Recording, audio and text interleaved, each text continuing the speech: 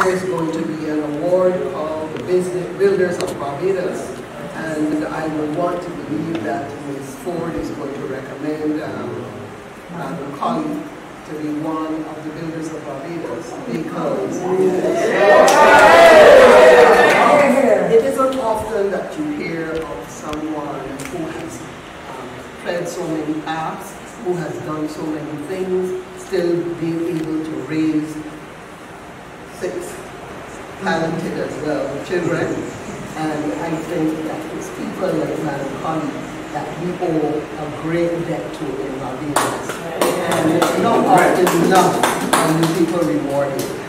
You know, and you are the ones who we have to be grateful for. Grateful. And I hope that today we get to sing and dance and do as many things as you want to do. Because today is your day.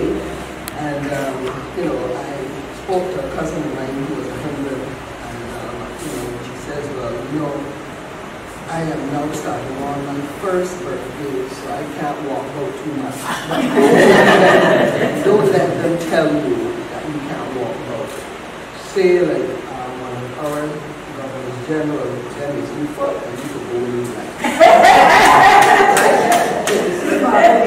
Laura is right there. Yes, that is true, she said.